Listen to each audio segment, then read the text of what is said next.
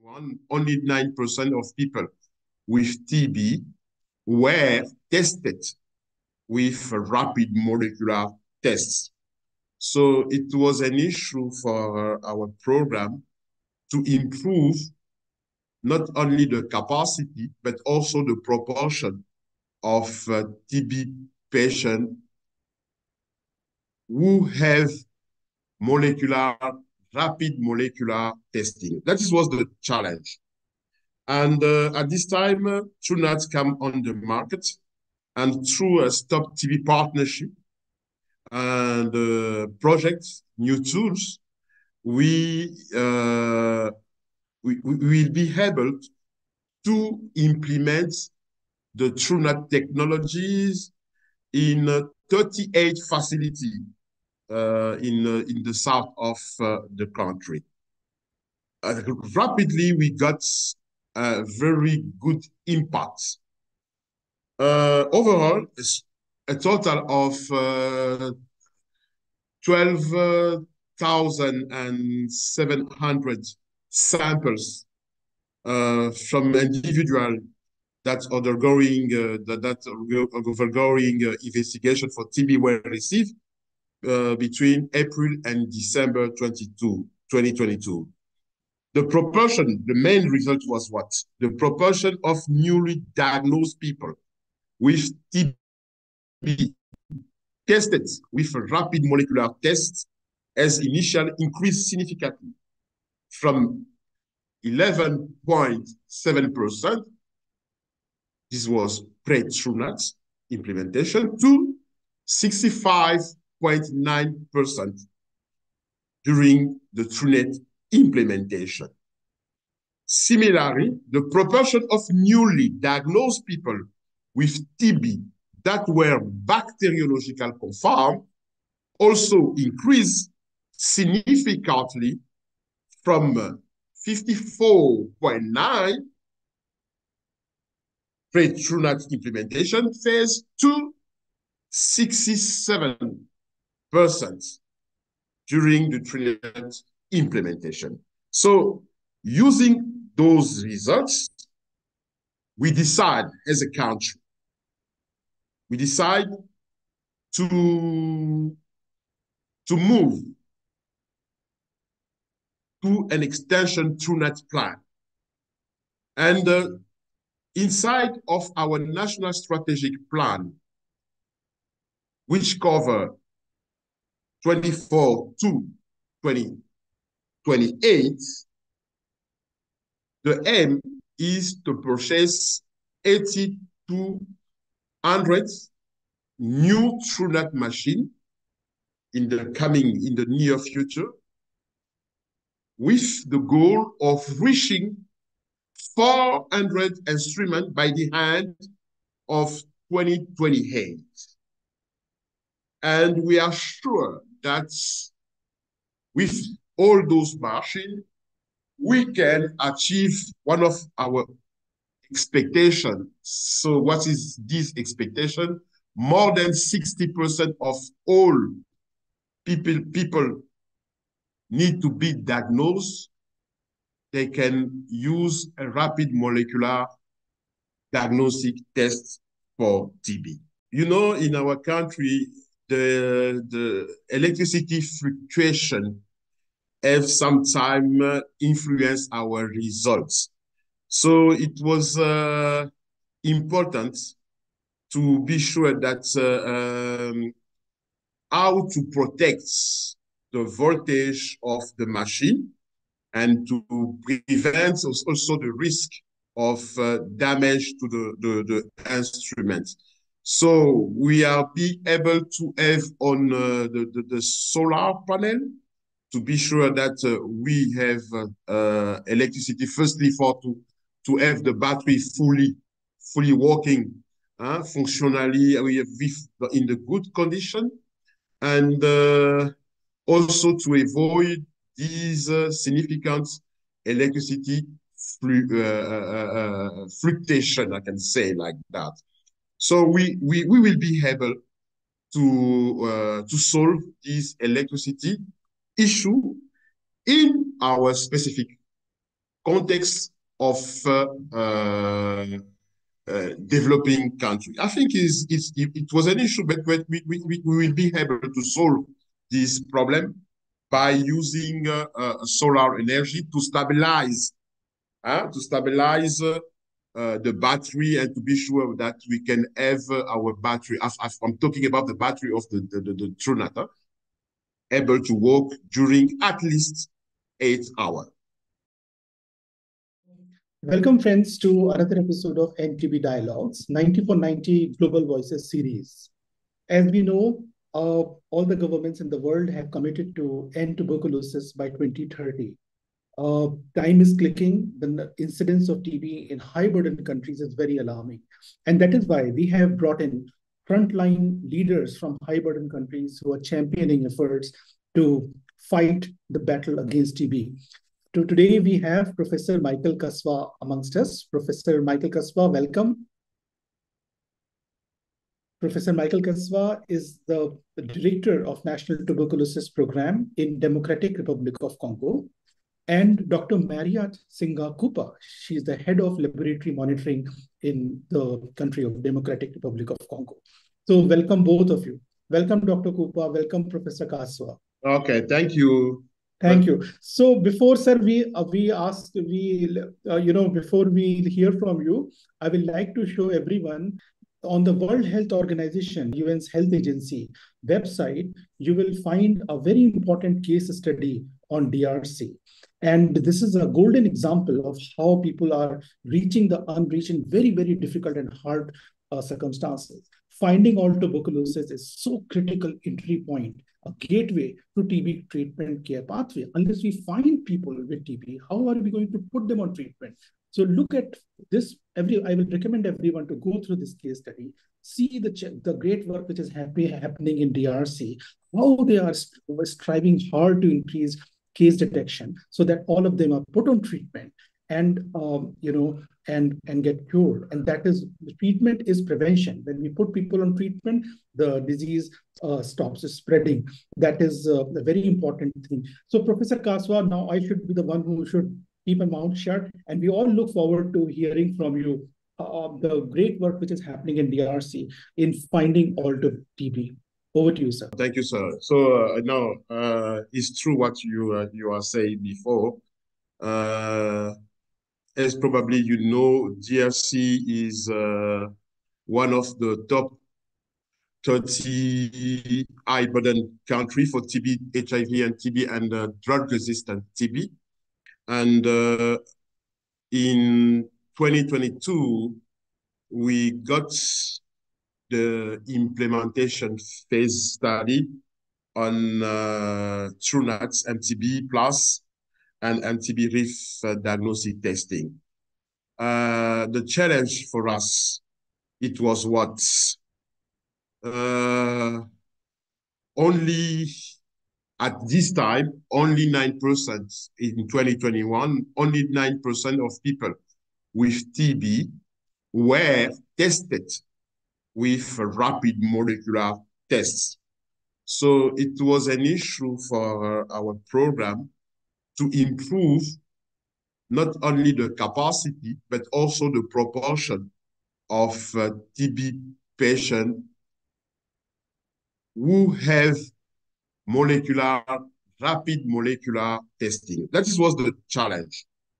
And uh, at this time, uh, TrueNAT come on the market and through a Stop TB partnership and uh, projects, new tools, we, uh, we, we will be able to implement the TrueNAT technologies in uh, 38 facilities in, uh, in the south of uh, the country.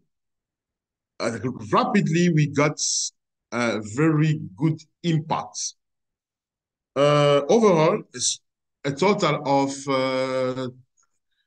12 1,700 samples uh, from individual that undergoing uh, that, that undergoing uh, investigation for TB were received uh, between April and December 22, 2022. the proportion, the main result was what? The proportion of newly diagnosed people with TB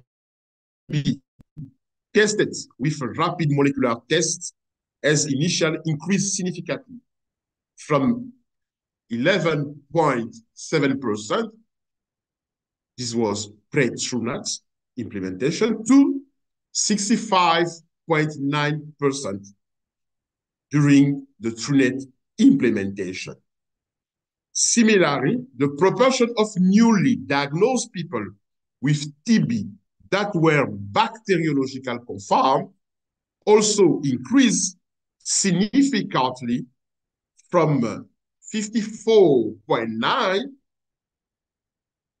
pre-TrueNAT implementation phase to 67%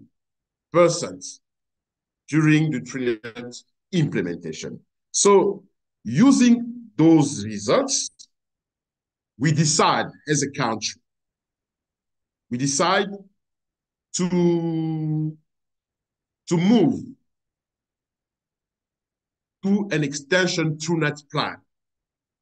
And uh, inside of our national strategic plan, which cover 24 to 2028,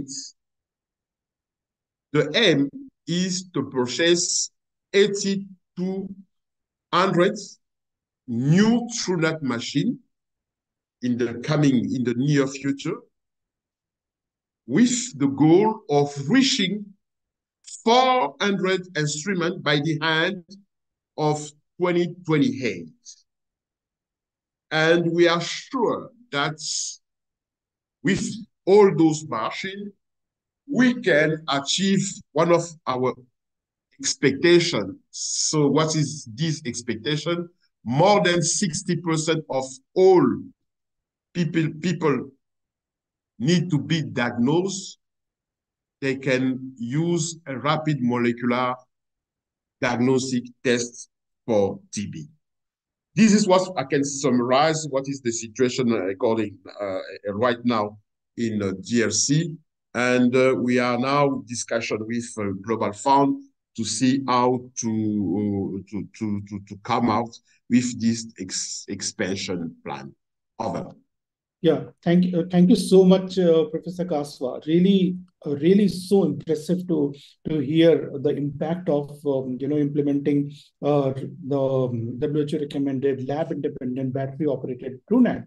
Uh, it's really amazing to see how the, the newly diagnosed uh, percentages went up from 54.9 to 67. And most impressive is the number of people who were getting diagnosed with the molecular test went up from 11.7 to 65.9. That is huge. That is really game changing because if we do not use molecular test, we are missing people if we use microscopy, if we use under tests which underperform. It is really important to find all TB. And one of the ways is to replace uh, microscopy with the molecular test. That is a WHO call from uh, since 2018. WHO has called, and the United Nations uh, high level meeting last year the world leaders promised that by 2027, uh, all the countries will have uh, 100% molecular test upfront. Let us hope that with leaders like you, uh, this really becomes a, a, reality that everyone who takes a TB test gets upfront, gets a molecular test diagnosis. Uh, and if it is uh, great to see. So, Dr. Kaswa, can you please help us understand where did you uh, uh, deploy TrueNAT? Was it in laboratories in big cities? Was it in rural settings? Was it in prisons? Was it in hard to reach areas? So some some insights from you um, will be really helpful. Using the different characteristics of the TrueNAT machine, they allow us to deploy the machine in different setting, in different facility. Some was were in the prison, uh, another in uh, the displaced population place, and uh, other in the clinic, but most of them are in very remote and rural area. And uh, we got, we were able to do that with some, uh, I can say, technical characteristic of the machine. You have this battery So it's true that as in the developing country, have some problem with electricity, but Truenat help us with this uh, battery that can work uh, around eight hours to solve some this issue of uh, electricity in our country. So we are we will be able to summarize. We will be able to put the machine in the normal TB clinic, but also in the specific place like prison, displaced population place, also in remote and rural area TB clinics. Over. Yeah, thank you. Thank you so much. Uh, Professor Kaswa, this is really important because uh, uh, in, in, I come from India, and in India, uh, it is really important to reach out to uh, people who are in prisons, who are displaced, or homeless people, or in remote and rural setting. That is where uh, the health services are really weak. Uh, what about electricity? Was electricity an issue to recharge the batteries? because I read on the in the WHO on the WHO website that um, the, uh, you were using uh, some sites have implemented uh, solar energy to cope with power outages and prevent damages. This is amazing. is it true? What was your experience? Over to you.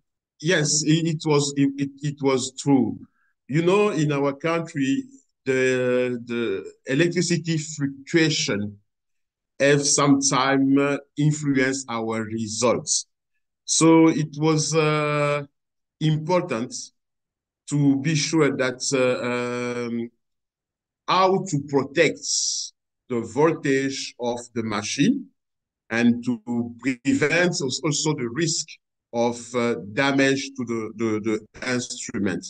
So we are be able to have on uh, the, the, the, solar panel to be sure that uh, we have uh, electricity firstly for to, to have the battery fully fully working uh, functionally in the good condition and uh, also to avoid these uh, significant electricity flu uh, uh, uh, fluctuation, I can say like that.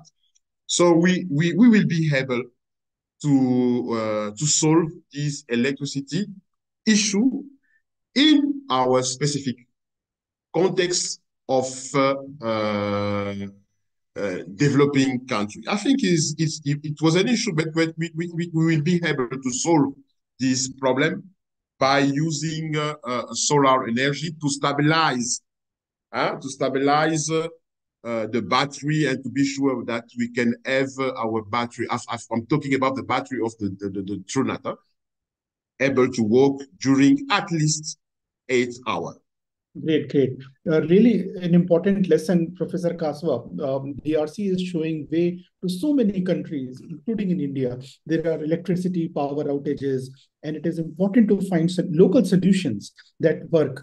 And uh, solar power is surely one of them. And uh, Professor Kaswa, it is a green green alternative. It is an alternative uh, which is environmentally and ecologically also also helpful. But great to see you are deploying it in a way it is also having a positive impact. So uh, professor kaswa are there any diagnostic delays? Are people being found early enough? Even you're we are finding it with molecular test but are they are they are you finding it early enough because so that we can stop the spread of infection? And are they linked to care and treatment? Yes uh, i think no there is no delay because you know what? Uh, my main message in uh, in our program, our vision is test, test, test again, and link to care. This is the main message. And the Truenat technology offer us this capacity that directly after testing, we are sure that we reduce any delay. The same days the patient was able to start with the treatment. So definitively, this is a great impact because, you know, as soon as possible that the patient's diagnosed, start the treatment, then you can stop the transmission chain of TB. So it's important for us, for us that quickly the patient starts the treatment. But here, not only a treatment, but the adequate and the correct treatment, because we know that is not a resistance, or we know that is a resistance, then you can start an adequate treatment. So that is two advantage that we found with uh, uh, the TrueNAT uh, technology. Over. Yeah, uh, thank thank you again. Um, really uh, eye-opening to to hear what and such an important slogan, Dr. Kaswa: test, test, test, and link to care. Test, test, test, and link to care. And same day test and treat must be a must be a norm, not an exception. That is a rule. Same day test and treat. And if we can diagnose in one hour, then it is, and if we can know that the person is resistant to rifampicin or not, we can put the person on treatment. And you are very right in saying we, we, it, we have to treat them, but treat them with work, with medicines that work on them. So it's very important that uh, uh, that you are implementing uh, technologies in such a powerful way. And thanks to the Stop TB partnership for, for supporting this. So, uh, so Professor Kaswa, any other insights on, uh, on, on, on when you look forward, this is 2025, and I look forward to meeting you in Goa um, in the meeting uh, on in next later this month. Uh, so uh, hardly five years are left.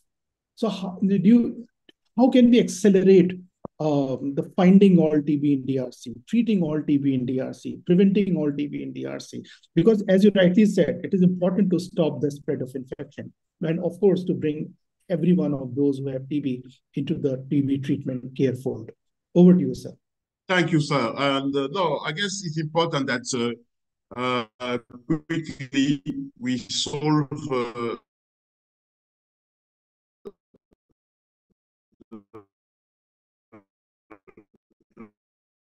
the, units and the global fund to be sure that we quickly to get this machine on board.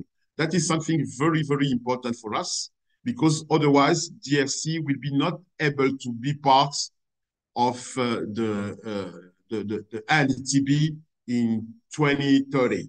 So uh, what I'm doing now as NTP manager with all my staff, working closely with Global Fund is now in within the country. We are discussing on this issue to get more molecular machine on board and to implement it, this uh, technology to be sure that we can have a very good and rapid impact in the reduction of the TB incidence within our, our country.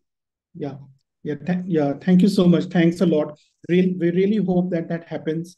Thank you. And uh, uh, it is really important that all uh, machines are in place, all medicine supplies are in place, so that you have all the tools, all the innovative new diagnostics and new treatments and people-centric approaches in place, so that uh, you know we can end TB. Thank, Thank you so much, Professor Michel Kaswa. A real honor and real pleasure talking to you. Okay, thank you. It will be a pleasure to meet Doctor and also to discuss with your team on uh, different kind of issue and to share our experience. Thank you, sir. And uh, bye-bye. Bye-bye.